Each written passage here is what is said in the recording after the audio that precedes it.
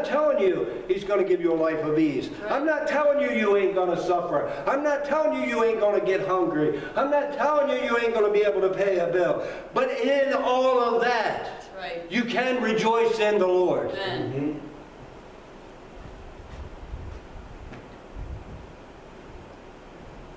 We have the evidence of it. We talked, was it last week we talked about the witness that we have. Look in Hebrews chapter 11 at the stuff they went through, and yet they rejoiced in the Lord. Amen. He said, All then the fig tree shall not blossom, neither shall fruit be in the vine. The labor of the olive shall fail, and the field shall yield no meat. The flock shall be cut off from the fold, and there shall be no herd in the stall. What he's saying is, I ain't got nothing. I can't afford anything. Prices are too high. Yet I will rejoice in the Lord. I will joy in the God of my salvation. Amen. When we do that, this next verse happens. The Lord God is my strength. Amen. He becomes our strength. Why are we so weak? Uh, because our focus is in not in the right place. Uh, why do the, the troubles and the trials and, and the things we go through uh, bring us down so easy? Because we're not rejoicing in our salvation. Uh, again, our focus is on my joy is in my home. My joy is in my job. My joy is in my bank account. My joy is in my car. That's how the church thinks. Uh, but when our, the salvation of the Lord becomes our joy, then He becomes our strength. And when He becomes our strength, there is nothing that we cannot overcome. There is nothing uh, that can bring us down. There is nothing that can defeat us. There is nothing uh, that can uh, stop us if that is where we are. He said, uh, when that is where we are and the Lord is our strength, He will make our feet like hinds feet. He will make me to walk upon high places. Uh, when my, my joy is in my salvation, then God becomes my strength.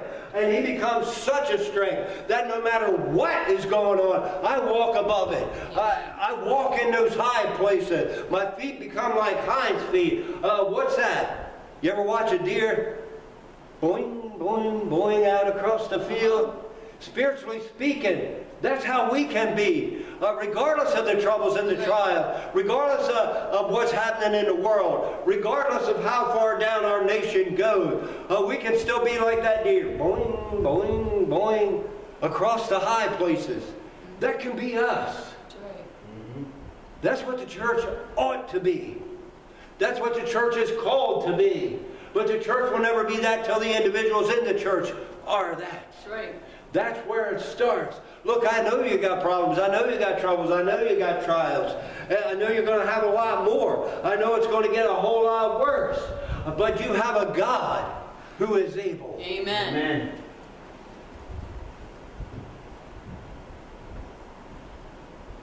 Here's the question. Are you going to trust God or are you going to trust yourself? Are you going to let God be God or are you going to try to be God? Are you going to base your joy on how you're living materially? Or are you going to base your joy on what God has done for you? What God will do for you, what God is doing for you, what God has prepared for you. If we can be like this, if our prayer can be, oh, Lord, this is a scary time. I know it's a scary time. It's a troublesome time. And more troubles are coming. I know that. But Lord, in the midst of this, pray like Habakkuk prayed. Revive your work.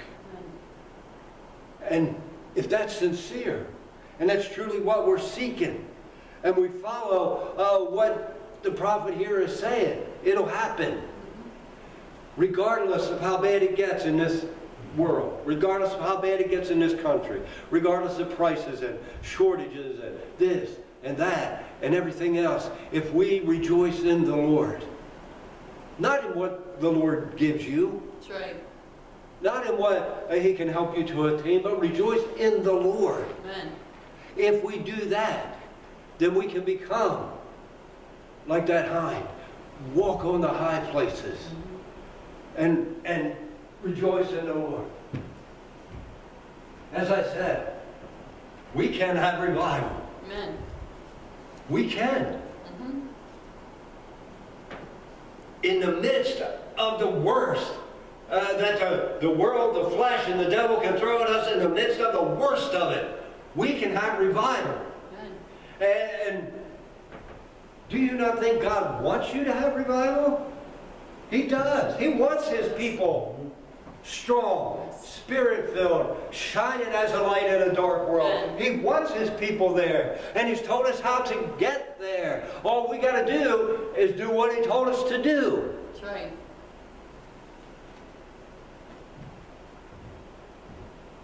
We have an amazing opportunity.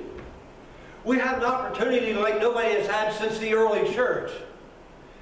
You know, they lived in a world of turmoil. They lived in a world of persecution. They lived in a world of trouble and trial. Uh, uh, a lot of things going on, a lot of things they had to go through. Uh, we here in this country have had it comfortable, have had it easy. God has blessed us. Uh, we lived high on the hog, so to speak. But things are changing, and we have an opportunity.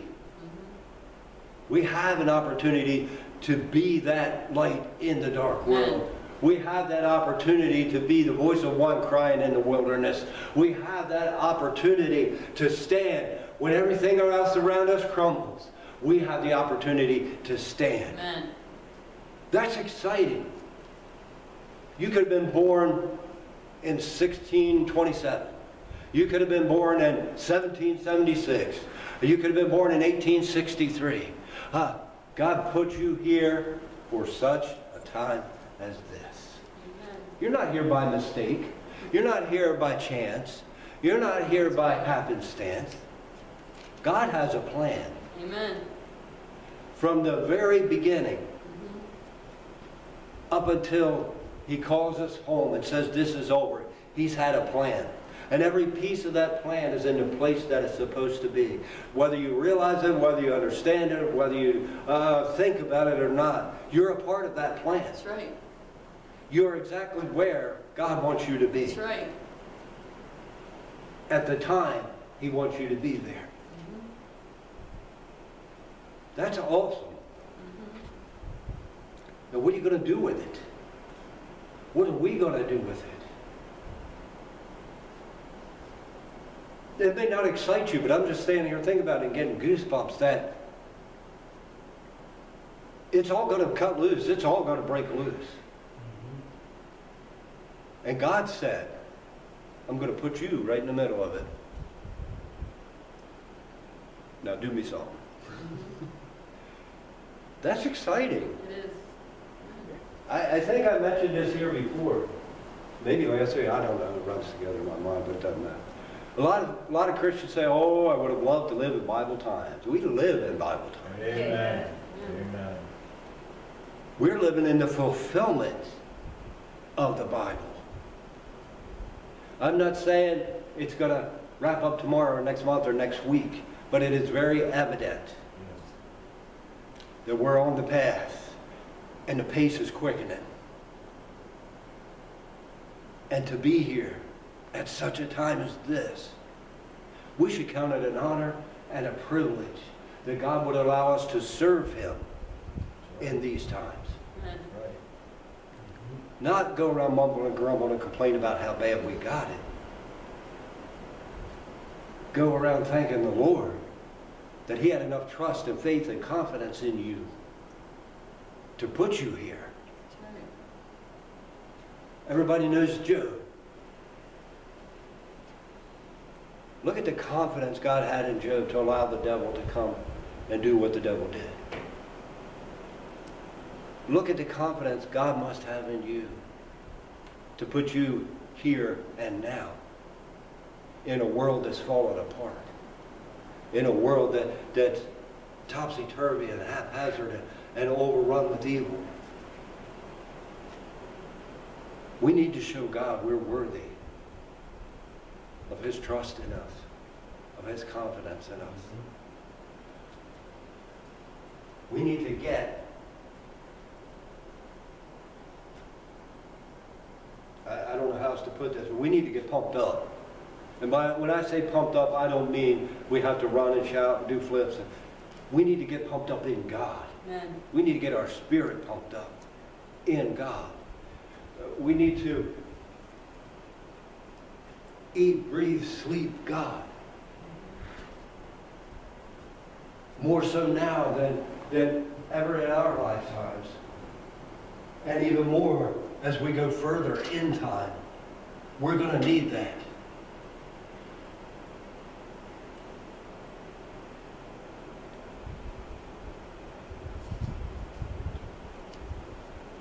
There's a couple places, Paul said it and Peter both said it. Not exactly like this, but what they're telling us is we need to stir ourselves up. But wallowing in everything else and stir ourselves up in Christ. Uh, Listen, I want to read this one more time. Although the fig tree shall not blossom, where gas goes to seven bucks a gallon, neither shall fruit be in the vine. The stuff ain't on the shelves when I go to the store. The labor of the olive shall fail. They're not producing the, like the stuff like they used to produce. And the field shall yield no meat. I'm going to tell you something. With this going over in Ukraine, do you know how big a percentage of wheat comes from that area? So you can just kind of imagine where the prices are going to go for bread and stuff like that. The flock shall be cut off from the fold. Might as well be cut off if you look at meat prices. And there shall be no herd in the stalls. Yet, or even so, I will rejoice in the Lord. I will joy in the God of my salvation. And when I do that, the Lord will become my strength. And if God is my strength, nothing can That's right. stop me. Amen. Nothing can bring me down. Right. Nothing Right. can defeat me as long as He is my strength. Amen. And when that's true, He'll make my feet like hinds feet. And I'll walk those high places. I'll walk above the problem, the trouble, the trial, uh, the situation, the circumstance. Whether it be in my personal life, or whether it be what's going on in the nation, or whether it be what's going on in the world. And when we all get to that place, and when we as the church get to that place, we can make a difference in people's lives. Amen. We can touch people for Christ. We can win people for Christ. Not only that, we can be a witness of the goodness and the love and, and mercy and concern of God. We can bring glory and honor to His name. Do you realize you can bring glory and honor and praise to Him just by how you present yourself? How you carry yourself in this world? How you react to things? Uh, what you do? That can bring glory and honor and praise to God. But the opposite is also true. How you act can bring reproach on His name. Right. And unfortunately, that's what's happening a lot in the church world. We're bringing reproach on Christ. Let's not do that anymore. That's right. Let's be uh, like what Habakkuk is talking about here. Let's rise up. Let's seek to be revived. You know, it's not some mysterious formula that brings revival. It's a contrite, a broken, and a repentant heart. That's right. It's a heart that seeks after the Lord. Amen. Mm-hmm. It's a heart that puts their trust and their confidence in God. Amen. Amen. It's one who understands the things of this world don't bring joy. They might bring happiness, but there's a difference. Amen.